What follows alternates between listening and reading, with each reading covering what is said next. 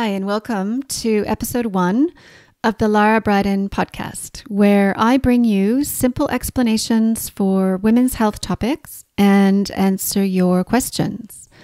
I'm your host, Lara Briden. I'm a naturopathic doctor and author of the books Period Repair Manual and Hormone Repair Manual, which you can buy anywhere or obtain from your library and are also available as audiobooks. As you can probably hear from my accent, I'm Canadian, mixed with a few years in Australia, but I currently live and practice in Christchurch, New Zealand, where I'm recording today on a rainy February summer morning. For this episode, my first episode, we're going to look at something that I think is very central to women's health, and that is why pill bleeds are not periods. I feel like if we could just get this straight and start to use the right words for menstrual cycles, then a lot of other things would start to make sense.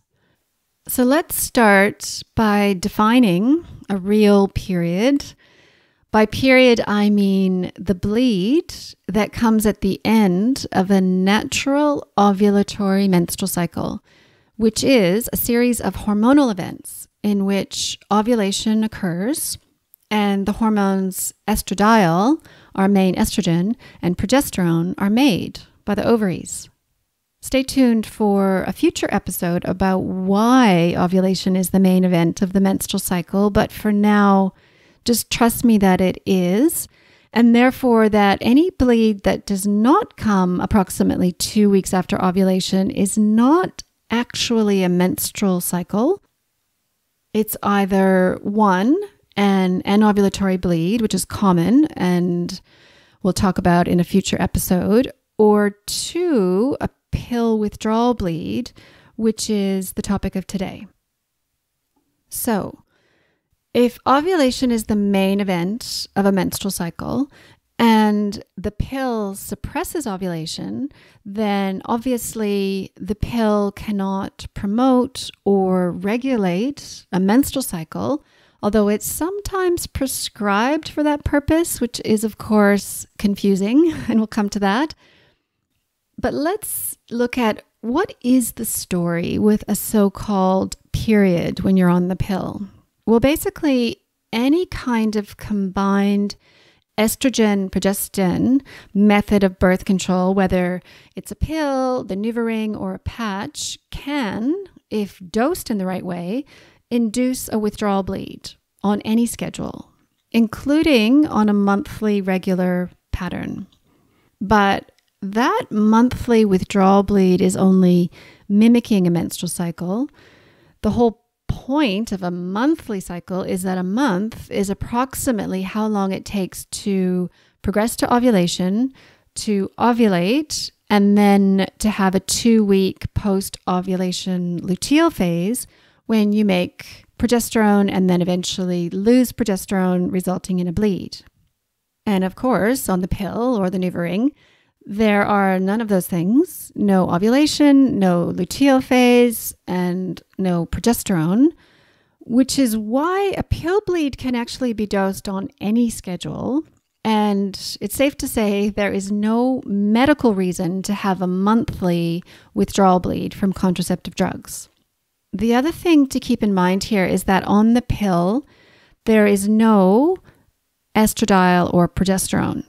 Instead, there are contraceptive drugs that have names like ethinyl estradiol and levonorgestrel, which are only kind of like estradiol and progesterone.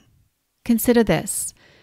If, while on a combined estrogen contraceptive method, such as the pill or NuvaRing, you were to try to measure blood levels of estradiol and progesterone, you would find almost none. In fact, both hormones on the blood test would be at menopausal levels. And why is that? Because, well, the pill suppresses ovarian function and suppresses estradiol and progesterone, and contraceptive drugs are not those hormones, so cannot be picked up on a blood test.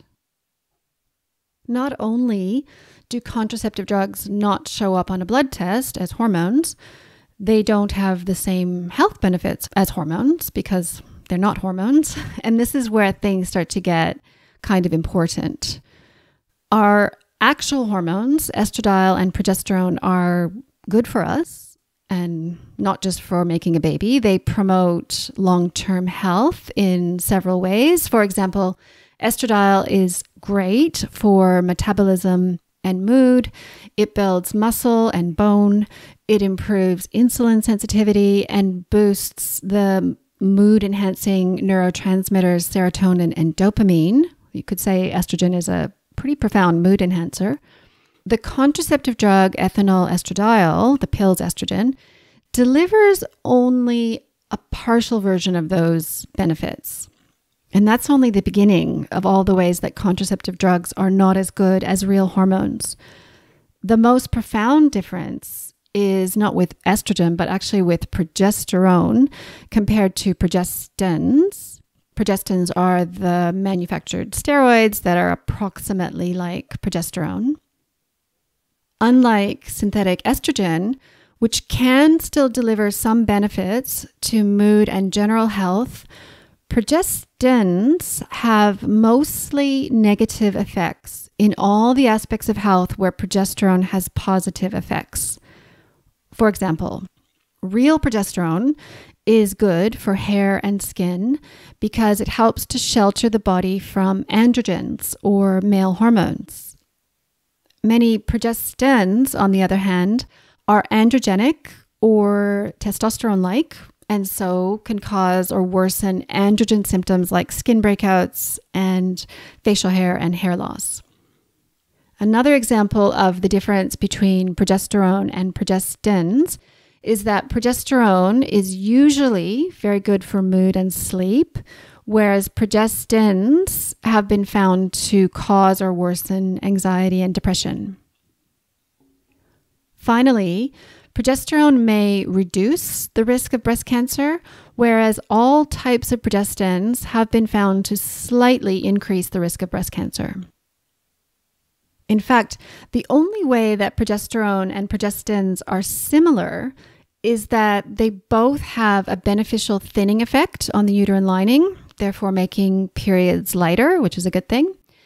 In every other part of the body, including the breasts and the brain, progesterone and progestins can have opposite effects.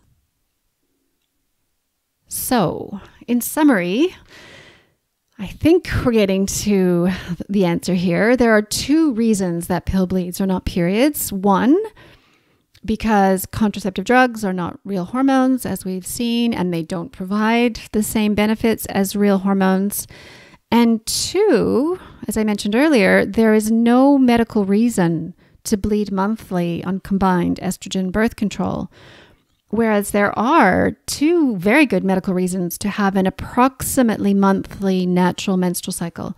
The first reason is that monthly ovulation is how the body makes its monthly dose of beneficial hormones. And the second reason is that monthly ovulation is an indicator that the body is healthy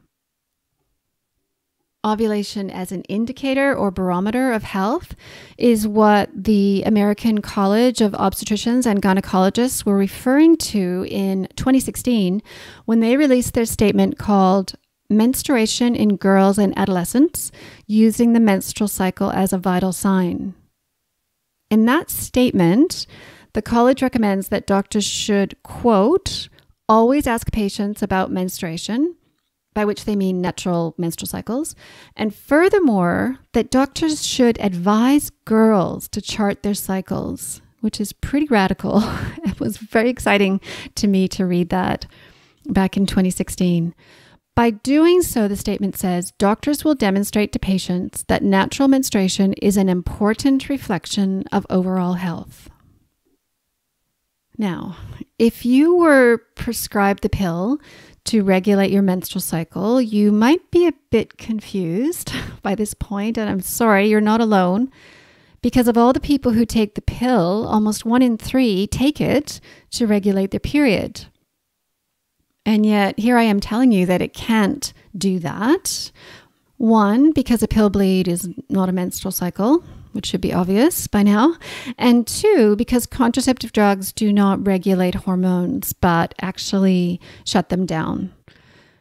And that's what I meant at the beginning of the podcast when I said that we need to start using the right words to describe the menstrual cycle. It would be accurate, for example, to say that contraceptive drugs suppress menstruation and therefore can relieve some of the symptoms associated with menstruation. And for painful conditions such as endometriosis, that could be a good thing. Although, of course, I would acknowledge there are other ways to treat endometriosis, as I discuss in my book, Period Repair Manual. And for a condition of irregular periods like PCOS or polycystic ovary syndrome, it would be accurate to say that certain types of contraceptive drugs can suppress androgens and produce withdrawal bleeds in a regular way that mimics periods and also thins the uterine lining and protects the uterine lining.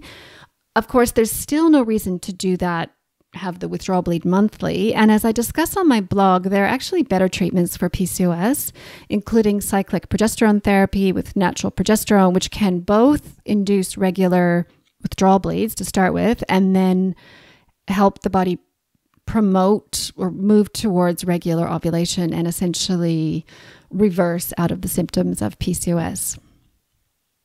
So I hope that's been helpful. And thanks so much for listening to my first ever episode.